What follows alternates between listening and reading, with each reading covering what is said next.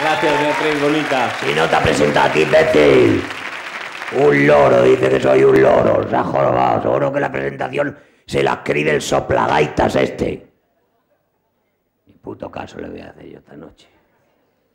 Coplillas, cotillas. En la sociedad actual está más que comprobado que somos unos cotillas de muchísimo cuidado. La vida de los demás nos gusta tanto saber que cuantos más cotilleos, rumores y chismorreos, más nos suele entretener. Y compramos mil revistas por ese placer morboso de conocer cómo viven las famosas y famosos. Y no podemos negar cuánto gozamos al ver las idas y las venidas de la familia Boyer. Y la semana que hay alguna boda sonada, casi todas las revistas han de doblar la tirada.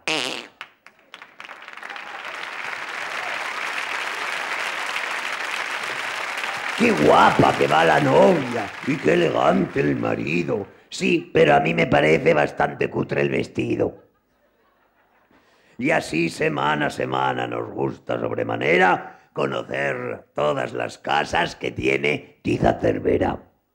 Moraleja, se diga lo que se diga, no podemos ocultar que nos molan las revistas que aristócratas y artistas nos permiten cotillar. Un pajarín. ¿Ha visto el pajarín que usted me ha salido? ¿Cómo está mi pajarín chiquitín?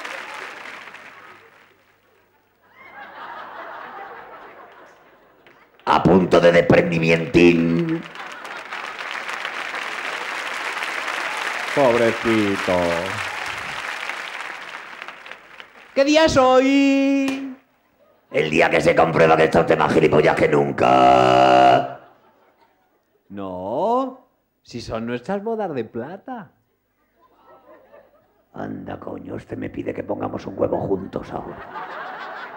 Pues me dé a mí la plata y se líe en rollo usted con el Macario, que es más tonto que yo. 25 años con el mismo pajarito. Hay que ver cómo lo tendrá de chuchurrillo, qué asco. Pero si es usted, cotorra. Cotorra a su madre, ¿eh? 25 años de felicidad. La pena que no me han encarcelado a mí 25 años, coño. Hombre, ¿no me dirá usted que prefiere la cárcel a mi compañía? Pues sí. Por lo menos allí por buena conducta sales a los tres. Los carceleros no chochean. Cuchi, cuchi, cuchi, pri, pri, pri, mi perrillito. Yo sé que no lo dice en serio. ¡Pajarino, es que me lo como! Quieto, qué asco, coño. Me ha llenado el pico de baba, leche, qué asco. Pues no dice que me come, socorro. Socorro, que le ha dado caníbal al giliponcio este. Socorro, socorro, socorro. Y si le gusta a usted la cárcel, yo le meto en una jaulita. Le puedo poner una jaulita con lacitos verdes y rosas. Voy a vomitar. Este habla de una manera que es que voy a vomitar. Dios mío, por lo que me quieras. Te barro el cielo y le doy cera. Hago recuento de las ánimas del purgatorio. Les cuento los pecados fiscales a los empresarios, pero libérame de este imbécil. ¿Qué le va a dar una sorpresita a mi cotorra? Su padre. No. Le voy a preparar una sorpresa. ¡Ay, qué alegría! ¿Quién le va a dar una fiesta preciosa a mi cotorrín? No tenéis una pistola. Ay, ya se me ha escapado. Cachis. Que se le ha escapado al cacho guarro este. Si estamos en público. Ay, que no le quería decir la sorpresa. Yo no le quería decir la sorpresa y se, la, se me ha escapado. He pensado que lo voy a vestir con el mismo trajecito del día de la comunión. ¿De la comunión de quién, imbécil? Si soy budista. ¿De qué coño la comunión si los pájaros no comuniamos? Es igual. Es igual. Le voy a poner el trajecito que lleve yo a la primera comunión mía. Yo fui de marinerito, ¿sabe? Con gorrito y chalina y chorreras y charreteras. ¿Dónde fuiste así? Que no le mataron. a la primera comunión y llevaba mi misalito y un rosario colgando. Vaya, llevaba algo colgando, menos mal. ¿Y cómo dice usted que fue? De marinerito, se llevaba mucho en la época. Va con el gorrito y todo. Usted me quiere dar una fiesta. O me quiere hacer hacer el ridículo para toda la vida y traumatizarme. Pero una fiesta, lo que pasa que tiene que ir usted, no sé, así le veo muy serio con el traje de marinerito. Va a estar usted precioso. He tenido dos problemas, que es usted raquítico y cabezón. Y usted es un baboso y un cabrón. Espere, espere, espere. Oiga, no diga tacos que tiene que estar en estado de gracia para llevar ese trajecito. Que tengo yo que estar en estado de gracia para vestirme de gilipollas prehistórico. Pero usted se cree que yo puedo aguantar esto, No, ¿no? no, y además es que va a ser una fiesta. Usted póngase de buen humor, hombre, que va a ser una fiesta sensacional. Y lo que más le va a gustar, ¿El qué? el menú. ¿Se lo digo? Es que no me aguanto, ¿eh? Se está haciendo pis y lo pago yo. Yo se lo digo. Lo he pensado muy bien pensado para usted. De primero le voy a poner gusanitos rellenos con crema de garrapatas. Seguramente serán suyas las garrapatas, ¿no?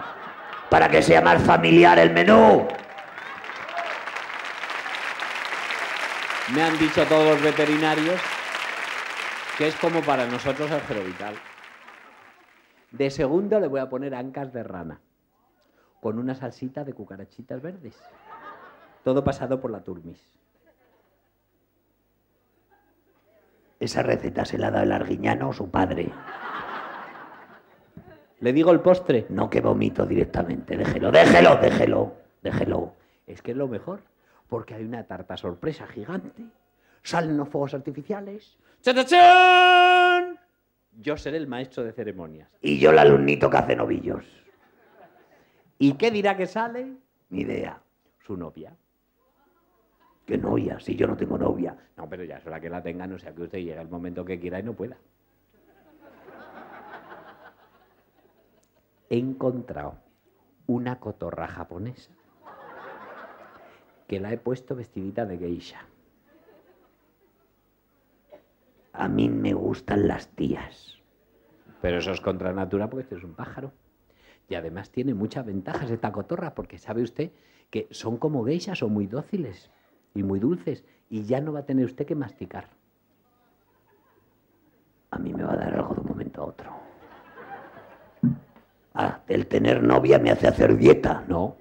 Lo que pasa es que ya comerá por usted, masticará todo, se lo traga y luego lo regurgita. Y se lo da de piquito a piquito.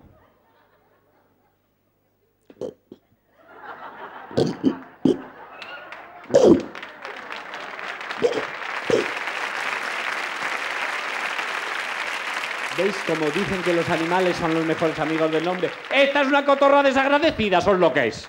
Mire, le voy a dedicar este versito si me promete que no me da esa fiesta. Le doy la fiesta por encima del manto a la Virgen. 25 años juntos lo tenemos que celebrar. Coplillas de la paternidad.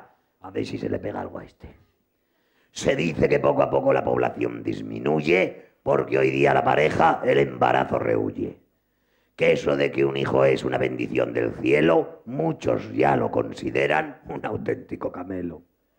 Y es que viendo los problemas que hay a nuestro alrededor, tener un hijo actualmente es un acto de valor. Por eso comprendo bien que hoy casi ninguna esposa aspire a tener carnet de familia numerosa. Moraleja, a toda esa brava gente que más de un hijo han tenido y que los han atendido tan sacrificadamente, les daremos por valiente este aplauso merecido. Gracias, majos. Hasta la semana que viene. Vámonos, Loli, que nos vamos de fiesta tú y yo. A mí la única que me trata un poco mejor, la Jaci. Me hace gachas y migas.